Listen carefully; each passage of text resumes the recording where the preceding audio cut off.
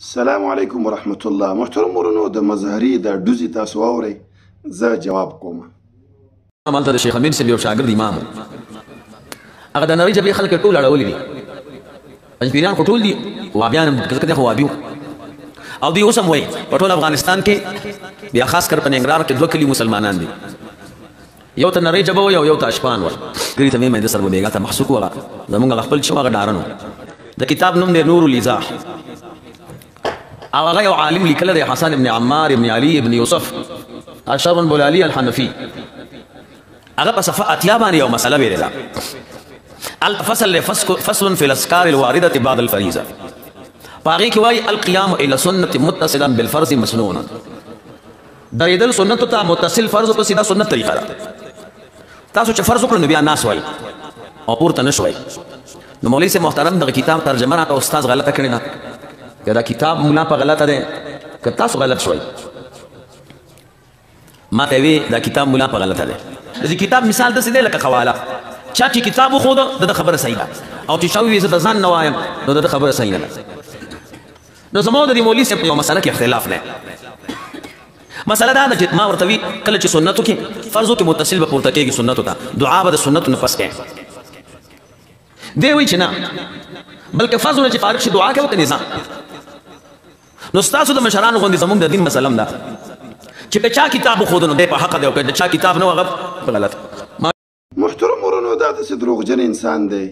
زما یو ځکه یو وابي سره وابي معلوم نه دی څوک دی زه فلانی سره ناست وم ما ته داسې جواب رانه کو ما ته داسې جواب رانه کو محترم ورونو تاسو ته په سکرین ښکاري دي ته ما څو ځلې رنګونه وکړو چې زما نوم یې واورېده بیا ټلیفون یې نه وچتاو تاسو دا خبرې دا رنګ وګورئ او بیا زه وروسته خبرې کوم السلام علیکم جی الو السلام علیکم وعلیکم السلام مولانا صاحب شته زه یم که خپله مولانا صاحب څنګه چل دی صحت مو ښه دی الحمدلله څوک یې پېښور نه خبرې کوم مولي صاحب څوک محترم عزت الله خبر کوم عزت الله او صاحب دی خره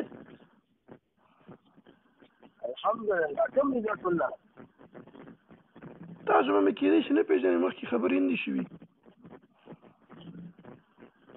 انا كنت انا خبرتها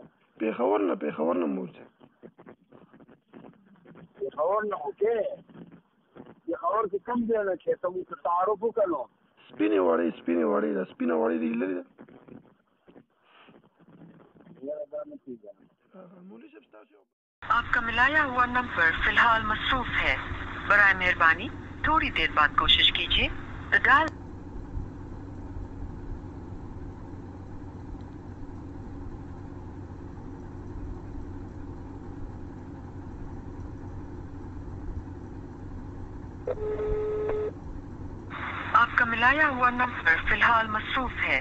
बर मेहरबानी थोड़ी देर बाद कोशिश कीजिए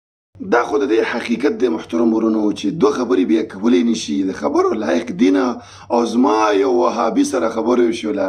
موضوع سره محترم ورونو وي زه یو مسجد ته لاړم او خلک چې وو فرض مونږ به چې وکړو نو هغوی به سمدستي جګ شول لاړ به وایي ما ورته وویلې چې ګوره هر یو کس چې د یو شي قایل چې دا زما دی نو ثبوت به پیش کړي مثال زه ځمکه وایم چې زما ده نو قواله به پیش کوم نو دین کې مو ما یو کتاب ویل چې یو کتاب کې لیکلي دي یعنی موږ هم دا وایو کوم چې تاسو ټول خبرې یو کتاب کې لیکلي الله او رسول خبرې تاسو سره نشته دین کې د الله او د رسول خبرې چلیږي تورې کرښې نه چې کرښې راواخله په هغه باندې لیکل وکړه دا خو به شیعګان هم نه ته چې یو کتاب کې لیکلي قادیاني به مو چې یو کتاب کې لیکلي خو زه افسوس کوم بیا هم افسوس کوم چې دا په دې خلکو کې داسې معروف دی چې لکه مناظر اسلام او فلانه او فلانه او وابیانو ته به شکست ورکړي والله قسم خورم چې ډېر بې علمه دی دا خبره زه د ضد او عناد د وجې نه کوم د شی خبرې کوي چې عامیانه خبرې دی هغه ها دا وای وای ما مولا ته ویلي چې ما خو یو کتاب درو خو ته اوس رو خو مولا ما ته ویلي وای چې د فرض نه بعد سمدستي سنت کوله دا وای نشته دی سمدستي نشته دی وای ما ورته ویل چې سي دا منم چې نشته دی خو کوم کتاب کې دی دا نش خپل دلیل دی ته مولانا په دې ولې نه پوهېږې نش دا خپل دلیل دی مولا علي قاري حنفي تا ته موږ ځکه ستا حواله درکړو یو بیان کې تا ویلي چې تاسو زموږ کتاب وو ځکه ستا کتابونو باندې تا موږ پړ کول غواړو نو مولا علي قاري حنفي وایي لکه څنګه چې د نبي علیه السلام فعل دلیل دی چې دا سنت دی مثال یو کار چې نبي علیه السلام نه کړی دا خپل دلیل دی چې دا کار نشته دی